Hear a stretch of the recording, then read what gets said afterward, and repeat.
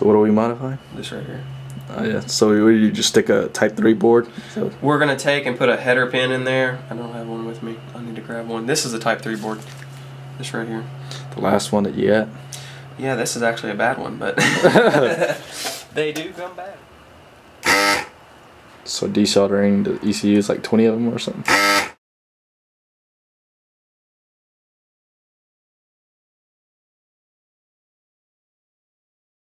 Can do we're, we're actually connected now to the board. So what we can do we can go in and uh, we're going to open up just a stock base image open that up and then we're going to since we're connected we're going to just sync the information over which basically means we're going to read the ECU make sure it matches the stuff that's on here.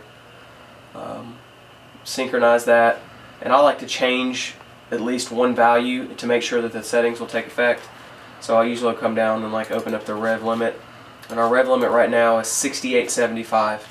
What I'll do is we can bump that up to say, or just you know change it to say, uh, we'll do 6900. Okay.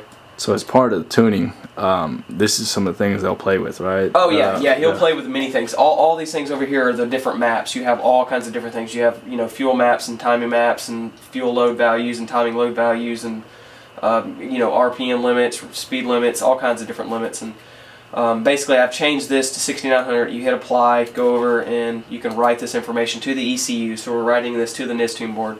Once we write it to the NISTune board to make sure that it's burned there permanently, you Go burn back, your save go your back and check it. yeah, and then what we're gonna do is we're gonna we're gonna you know disconnect.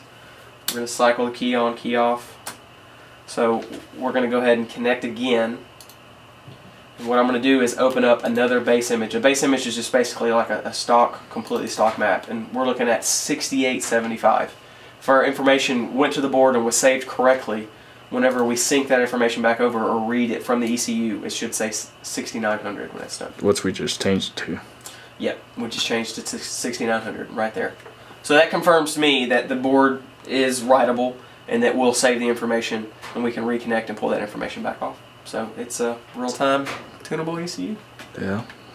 You're set, man. So where we at? We at Autobahn. That's right. ABP. It's filthy. Where can you find Where can you find more information at? you can go to uh, uh, more information about Nistune. Just go to nistune.com or if you want to give me a call, you can go to my website at sales at autobahnperformance.com. That's my website or just autobahnperformance.com and you can look at the contact us tab. Give me a call. We'll help you out. Good deal. Thank you, sir.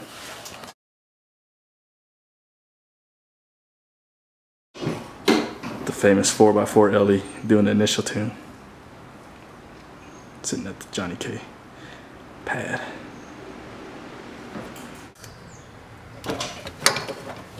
Probably will start pretty well.